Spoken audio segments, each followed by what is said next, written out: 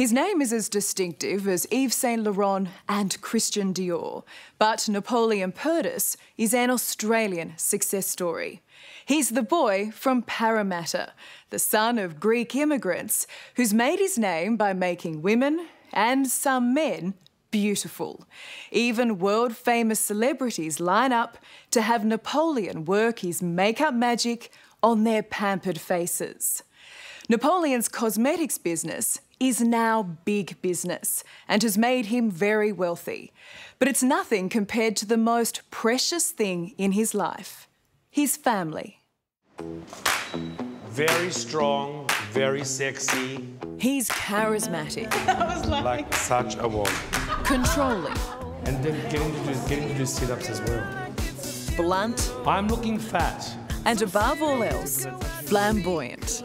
I feel like it's a bit Chiquita from Mexico. Mm. Napoleon Perdis is called a lot of things, not all of them nice. And no frizz. But when you're as successful as he is, who really cares? Yeah, yeah. Okay. Okay, perfect. It's a real test of character, isn't it, to be different? Absolutely. because to be different, you have to be very strong in people looking at you and judging you.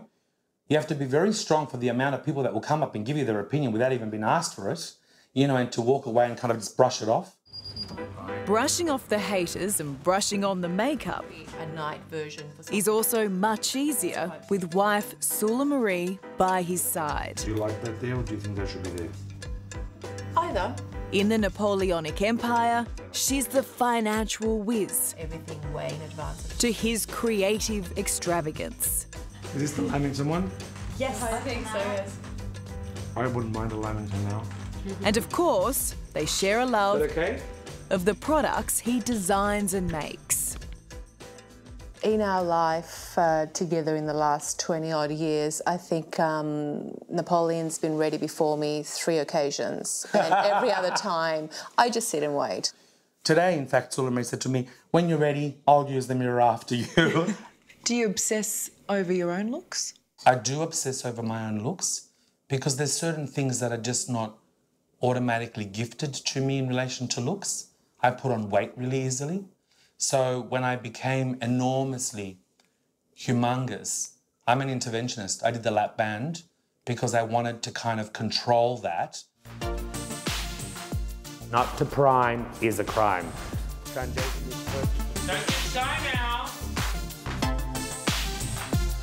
You've been described as shrewd, focused, and controlling. An unashamed self promoter. Is that you? Am I a self promoter? Absolutely. There's only one Pope in this Vatican. With Napoleon Perdis the man leading the way, Napoleon Perdis the company has become Australia's largest cosmetic brand, a celebrity necessity, and family business with a turnover of more than $100 million a year. How does a boy from Western Sydney turn himself into the makeup king? well, my mother wore a lot of makeup, even in the shop that we had in Sydney on the corner of Elizabeth and Liverpool Street. Full lipstick, full face, full eyes, full everything. And this is in the hamburger joint absolutely. that your dad ran. She'd serve a hamburger and a ham and cheese sandwich. Ham and cheese, so you like a salt and pepper? And she was in a full face of makeup. Mum Liana is not only Napoleon's greatest supporter, she's the reason he's even in the makeup business. Dad John had hoped for something more traditional a lawyer or a pharmacist. But growing up in Parramatta, Liana cultivated her son's creative flair by letting him experiment on her face. Did she wear that makeup outside the house? Not only did she wear it outside the house, but that particular function we went to, which my mother now knows how defining it was, one of the women said to her, Oh, your makeup looks really heavy and your brows have a lot of blue in it. And she just. Blue? I put blue mascara in her brows because I kind of thought that would have been a bit trendy and cool. That's a mother who clearly loves you. clearly loves me and clearly encouraged me. Despite his penchant for facial perfection, after school, Napoleon went to university. It was another great move. He met Sula Marie. They fell in love and married quickly. Along with Napoleon's brother Emmanuel, The couple started the business soon after.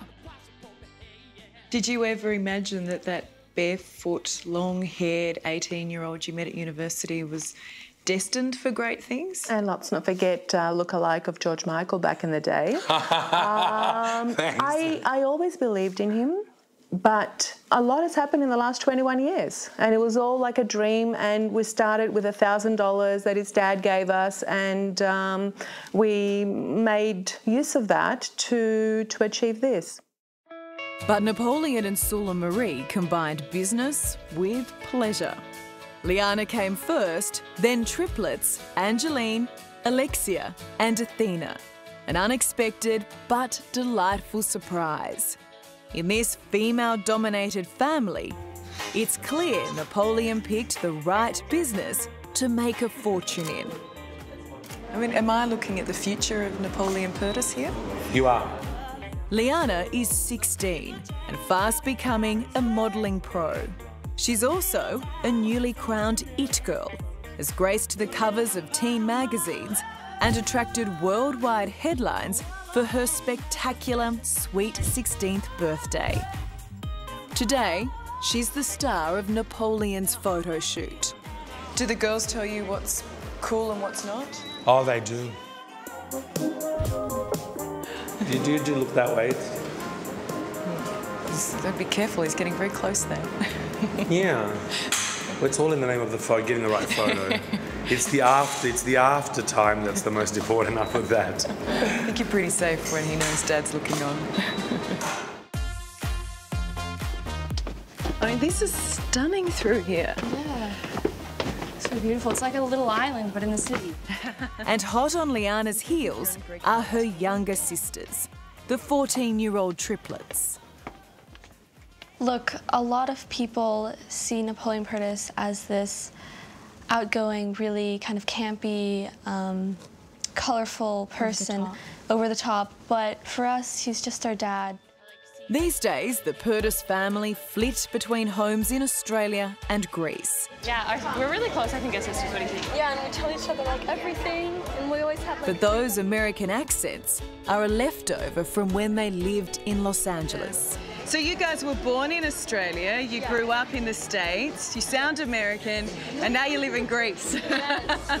We do, like, people get confused. They're like, so what are you? Like, you're Australian? The United States was actually Napoleon's Waterloo, a rare lowlight in this make-up mogul's fairy tale.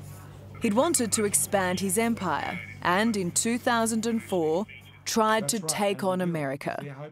It didn't work. And 18 months ago, Napoleon was defeated. Pulling out of America, was that a failure? Pulling out of anything, I think, feels like a failure. As I've had time to reflect, um, I made mistakes. Why did you feel the need to conquer America? I really wanted the American flashbulbs and lights and recognition in the big cities and the big neons and the big department stores and all of that. It was actually something I had visualized as a child. And I imagine it's hard for you to, to give up on something. Um, I was very tortured for many nights.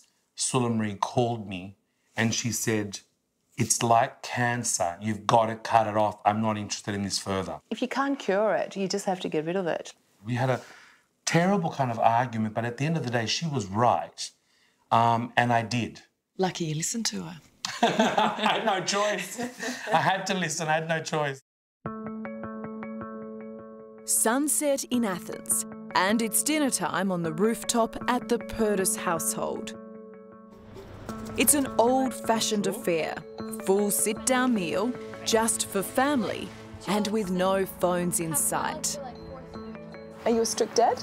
They see it as strict now, but hopefully in the future they might just see it as, you know, a value system that they can access when they need it. This is the simple life.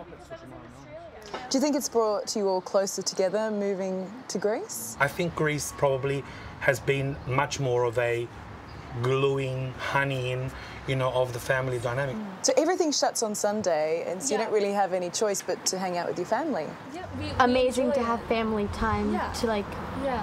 have connections with. If you have like a busy week or something, Sundays are like, you know, we can all catch up.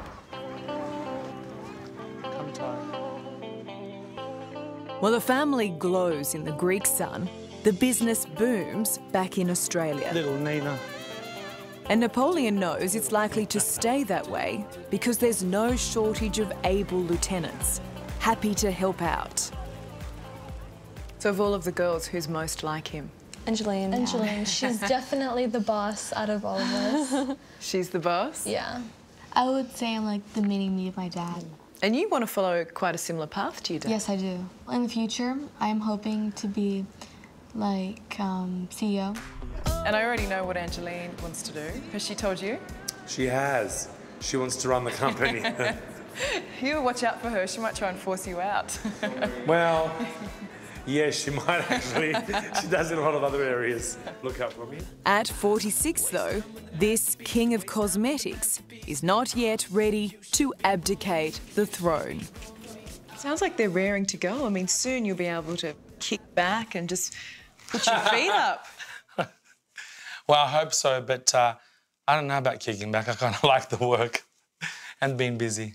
He's not giving up the reins anytime soon. Well, the company's still Napoleon Perdis, so that's not going to change, is it? No.